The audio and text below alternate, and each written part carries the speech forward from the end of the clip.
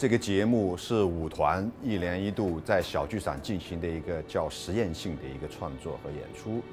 大家都说女人是水做的